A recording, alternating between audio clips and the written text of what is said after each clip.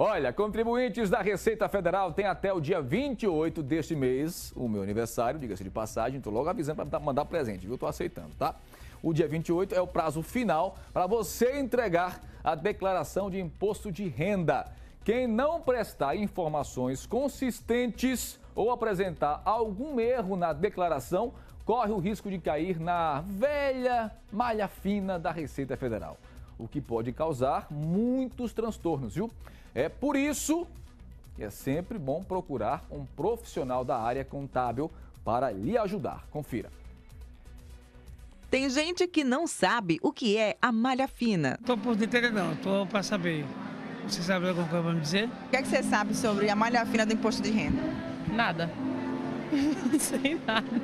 Hum, da malha fina da Receita Federal? Ai, meu Deus, tu me pegasse agora.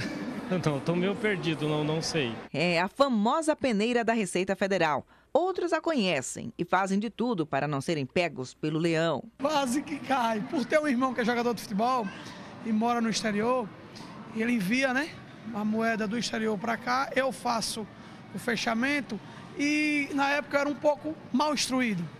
E aí, sem querer, acabei passando pelo fio da malha fina. O professor de Ciências Contábeis, Carlos Eduardo, explica melhor o que é a malha fina. Malha fina é um sistema de restrição das pessoas que, por acaso, cometeram algum erro na declaração de imposto de renda ou que a Receita tem alguma dúvida sobre se aquela declaração está correta ou errada. A malha fina avisa ao contribuinte que ele errou ele vai ter um prazo para fazer as correções. Em 2016, foram entregues quase 28 milhões de declarações de imposto de renda com base em 2015. Dessas, uma grande quantidade ficou retida na malha fina, cerca de 770 mil declarações, 2,76% do total entregue. Para a Receita Federal, um número muito alto e motivo para intensificar a fiscalização. Nos últimos anos, nos últimos dois anos, houve um grande avanço tecnológico por parte da Receita Federal. Então, na verdade, não é sem entender. A malha fina sempre existiu, só que os computadores da Receita não tinham esse alcance de detectar essas minúcias. E agora nós temos supercomputadores na Receita Federal que fazem com que cada dia mais e mais pessoas possam cair na malha fina. Alguns já tiveram problemas seríssimos por erros nos dados fornecidos, inclusive por parte da Receita. Tem uma declaração que caiu na malha fina, fiz a impugnação e já estou esperando há sete anos. Meu processo já foi julgado, eu já ganhei. Tem um ano que foi julgado.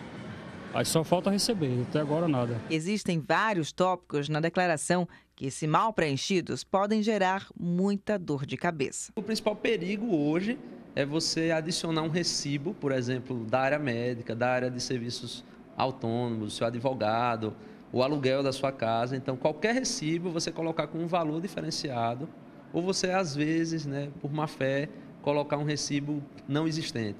Por quê? Porque aquele profissional, médico, ele vai colocar todos os recibos, todas as rendas que ele é, auferiu naquele ano. E aí você disse que foi no médico sem ir, com certeza a Receita vai saber e você vai ficar na malha fina. Tem uma questão.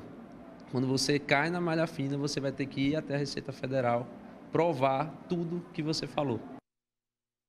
Ó, oh, tem a malha fina, né, da Receita Federal e tem, né, e tem a malha fina, que é a nossa editora executiva, né? Hein? Cuide dela. Gostei, coxinha. Ela é quem manda. Ela, é, ela, ela, é quem manda em mim na televisão, viu? Aqui quem manda é essa pessoa aqui, ó. Viu? Tá certo. Arranja uma foto, bota uma foto mulher no Google, viu? Pelo amor de Deus. Viu? É, esse leão tá, tá meio murcho, viu?